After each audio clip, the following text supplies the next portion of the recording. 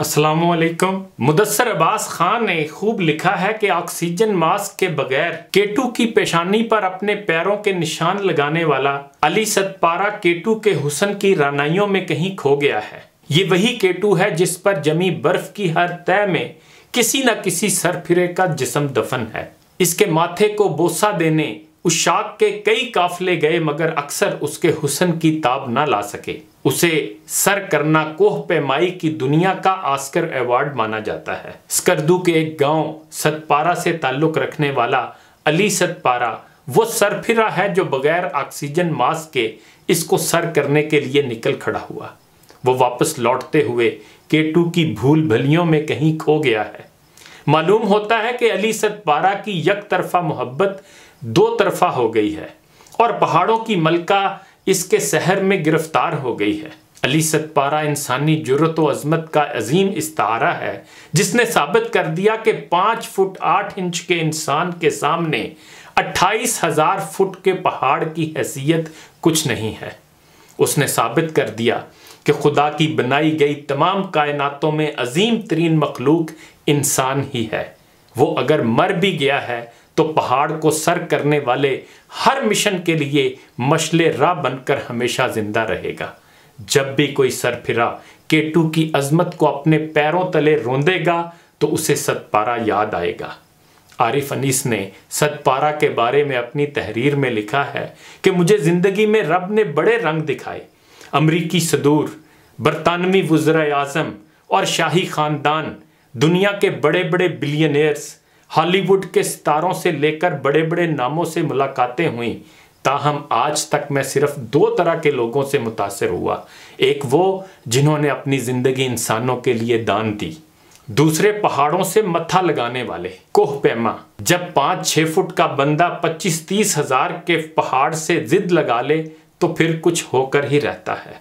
इकबाल के बकौल, या मैं नहीं, या गर्दश अफलाक नहीं है। और कहा हयात शोला मजाजो गयूरो शोर अंगेज सृष्ट इसकी है मुश्किल कशी जफा तलबी। आरिफ अनीस के बकौल, ये कोह पैमा भी कुछ पागल लोग होते हैं। अमरीकी खातून वेनिसा ओब्राइन को ही ले लीजिए।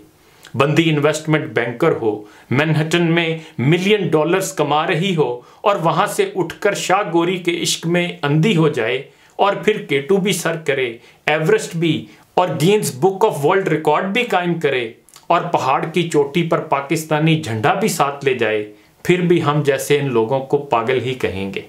नज़ीर साबिर की कहानी भी वलवला अंगेज है। वो माउंट एवरेस्ट की चोटी पर अपने दिल में रब से हम कलाम हुआ था। पहाड़ों ने उसे तो सूफी ही बना दिया। कभी सब कोह पैमाओं के मुर्शद एडमंड हिल्लैरी की कहानी भी पढ़िए, जो कहता है, दरअसल हम पहाड़ों को नहीं, बल्कि अपने आप को, अपने डर को तस्खीर करते हैं।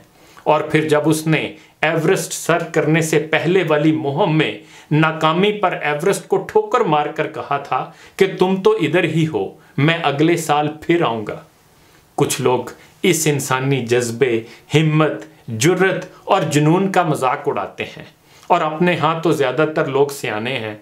नौकरी करते हैं, कारोबार करते हैं, माल बनाते हैं और खुश रहते हैं। अभी तो इनको ये भी पता नहीं होता कि एक दफ़ा के टू के सर तक पहुँचने में पाँच सात करोड़ लग जाते हैं। इतने में तो डिफेंस का बंगला आ जाता है।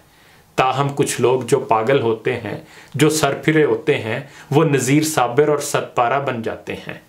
आखिर पर मोहम्मद अली सतपारा जैसे सरफिरों को इकबाल के इन अशार के ज़रिए खराज तहसीन पेश करना चाहूँगा। बरतर अंदेशाए सूदो ज़िया है ज़िंदगी, है कभी जाँ और कभी तस्लीम जाँ है ज़िंदगी।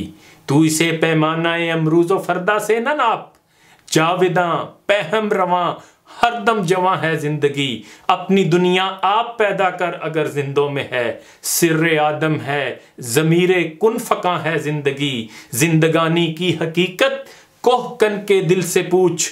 जुए, शीरो, तेशाओ, संगे गरा है ज़िंदगी। आशकारा है ये अपनी कुत तस्खीर से। गरचे मट्टी के एक पैकर में नहा है ज़िंदगी। इन्हीं गुजारशात के साथ इजाज़त चाहूँगा। अपना ख्याल रखिएगा। अल्लाह हाफिज़।